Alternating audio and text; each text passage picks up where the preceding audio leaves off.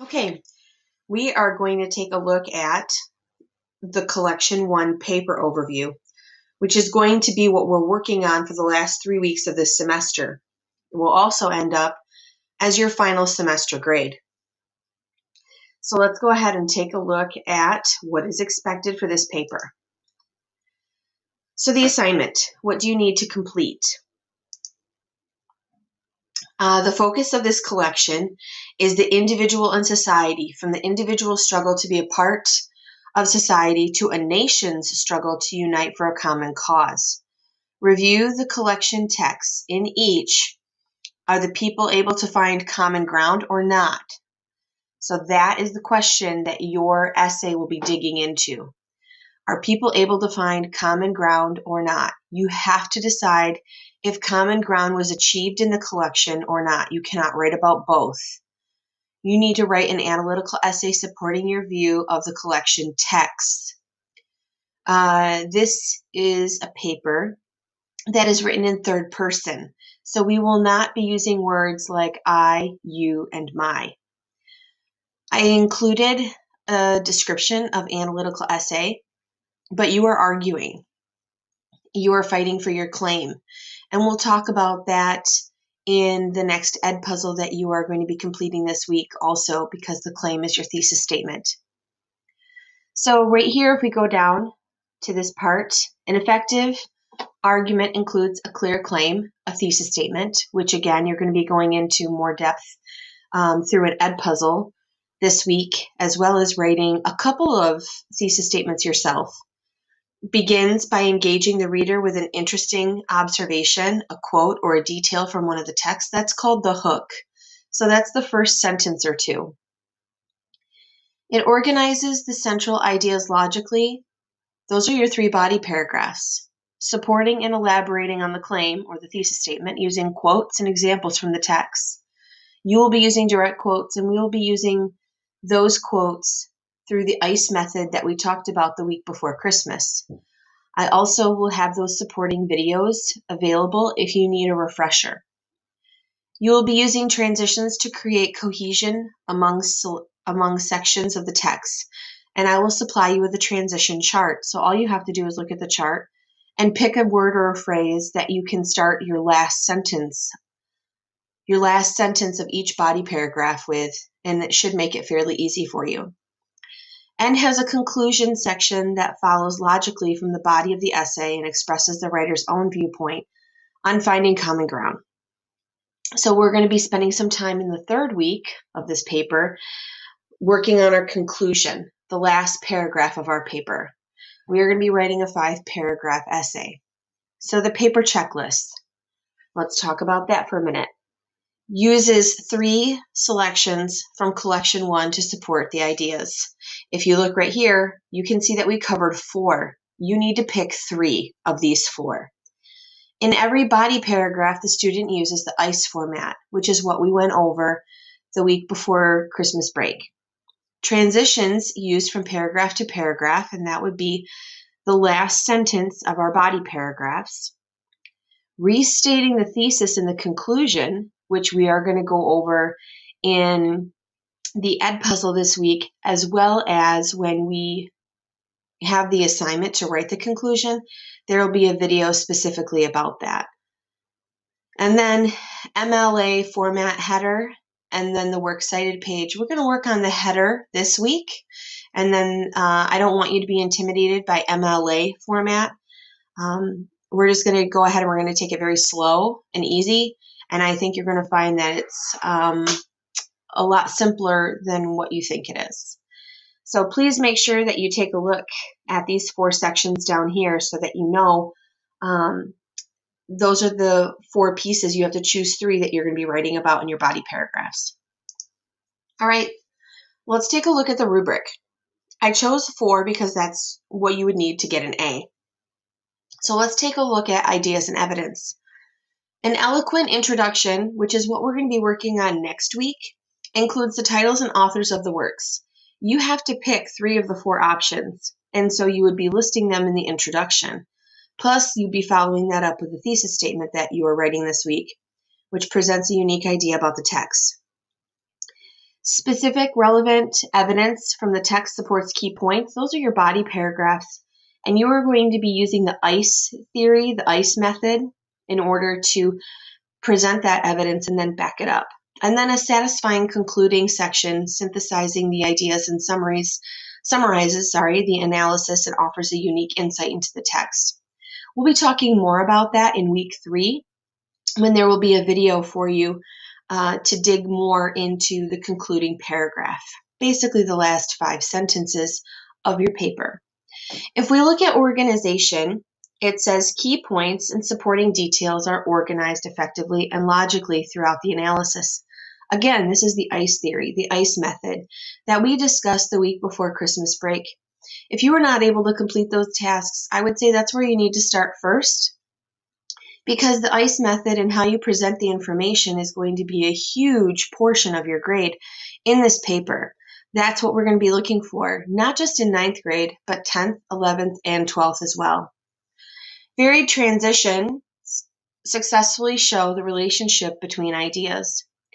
The transition chart, which is going to be uh, provided to you in a Google Doc or a PDF, um, is there so that you don't start the same sentence, the same series of sentences over and over again with the same phrase. Um, uh, an example of that would be in this section or in this quote, the the reader can clearly see or clearly it's clearly stated and then the next sentence in this quote and then the next sentence in this quote. So we need to have some kind of variation, and that transition chart will provide that so that we are not starting all of our sentences with the same word or phrase. And then we get to language. The analysis has an appropriately formal style and a knowledgeable, objective tone. What that means is this is not an I paper, it is a third person paper. That's the formal style.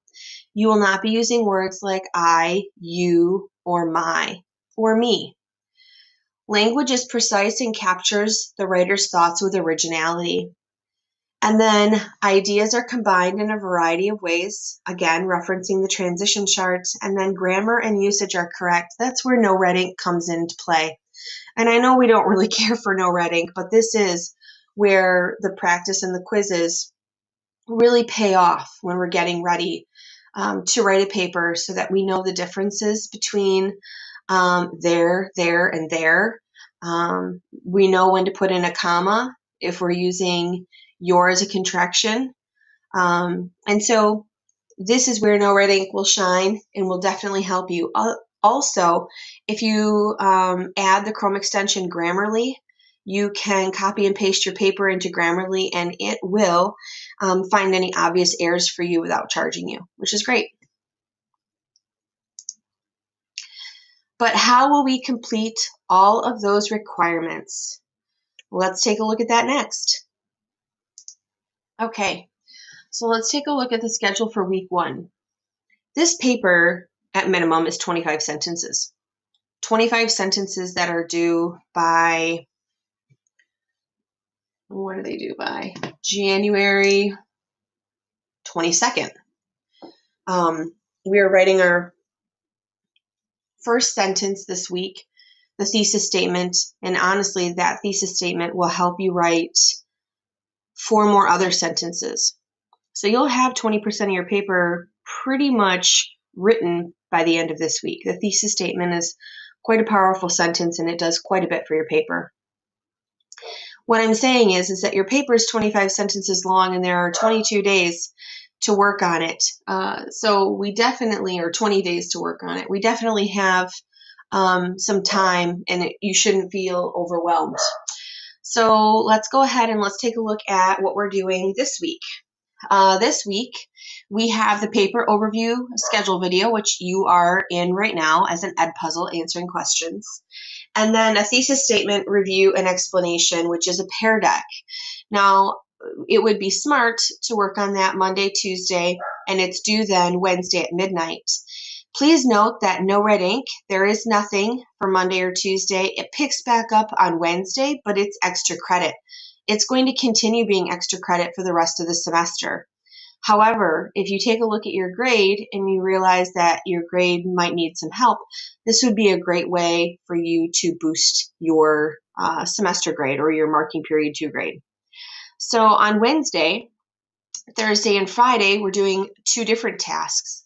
We're going to write and submit the thesis statement for the paper, which is going to be a very simple document that you're going to work your way through, and then you're going to submit a, submit one sentence into Google Classroom. And then uh, we are going to have an Edpuzzle and a Google Classroom assignment um, with formatting our paper. Uh, the header and the footer, we're going to work on that and we're going to just get that Google Doc prepped and shared with me. And that is going to be ultimately what your paper is going to go into. Um, so you don't have to worry about sharing it in the future. It's already going to be shared, which is great. So those two things, one sentence and one Google Doc that you're not really even typing in, these are very simple assignments and you have three days to get them done. They're due at midnight this Friday. So uh, pretty easy week. Now, if we go to the next week, this is probably the meat and potatoes. It doesn't look like much. Obviously, this slide, this looks like a whole lot, but it's not. Um, it's probably uh, half the work of what this work is this week is going to take. So starting January 11th, you're going to write the four sentences that precede that are in front of the thesis statement. And you have three days to write four sentences. So that's not bad. Three days to write four sentences. And then on Wednesday, you're going to be working on your body paragraphs and you're going to ice those paragraphs. So then you are going to basically be writing 15 sentences for me in three days. 15 sentences for your English teacher in three days. So, five sentences a day, that's not too difficult. And honestly, your thesis statement helps you write the topic sentence. So, you only have to really come up with four more for, uh, for each of those paragraphs. Please remember also, NoRedInk is uh, extra credit for this duration of the of the assignment and the semester. So we have two things due, um, but they're going to take a little bit more time than the previous week. And then uh, your week three schedule. We're going to have the conclusion and the works cited assignment. So five sentences right there, but you already have the thesis written. So basically, you only have to write four more for the conclusion. That's due on Wednesday. And then we're going to have uh, paper creation and a self edit assignment over three days. And then your paper is due on the 22nd. All right, so what will my tasks look like? Like I said earlier, we are definitely taking this sentence by sentence. I want this paper to be easy, especially since we're distanced. Um, I want us to go ahead and just take it sentence by sentence. This is how we're going to handle the three body paragraphs. These are the paragraphs that come after the introduction and before the conclusion. You have three body paragraphs. And if you see, I took a screenshot of the chart that you're going to be getting every time you have to fill out one of these body paragraphs. So this is body paragraph one. And I need one sentence. And it says that this should directly connect to reason one in your thesis statement. That's why your thesis statement is so awesome because it helps you write your topic sentence. And so we'll be going over that um, in a different instructional video. And I will have those linked. So if you see right here, there's a link right here, how to ice, how to put in the transition, um, and then you'll have your transition word chart also embedded. So I'll always make sure that you have some backup videos to check um, and some resources um, as you work your way through these paragraphs. So then you're going to pick or you're going to introduce the quote. This is where you explain what's happening in the selection that you chose. You need to really treat it as if this person has never read any of the four pieces before and you're really explaining it to them. And that's where that would be typed right here in the blank box. And then you're going to pull a direct quote and you're going to put that right here. And then you're going to explain um, in a few sentences why does this quote support my thesis or the point that I'm trying to make up here in box one? Um, so you also have to make sure that it's either backing up either that positive or that negative. Um, or I'm sorry, not the change, but the um, were they able to have common ground or not? So was there was common ground achieved or was it not achieved? And that's where the explanation would come in. And then right here, you would go ahead and have a transition into the following paragraph so that there is a flow from one paragraph to the next. So that is what we're going to be doing for each of the body paragraphs. And then at the end of the three weeks, you'll be turning in a completed paper. Um, as I stated, we're taking it piece by piece. And then we're going to collect all of these pieces and we're going to put it into one final product. And it's that final product that we're working on this week and that you will have shared for me during week 17. By the time we get to week 19, you'll have all the pieces and parts to copy and paste into that document that you've already shared with me and you'll be done.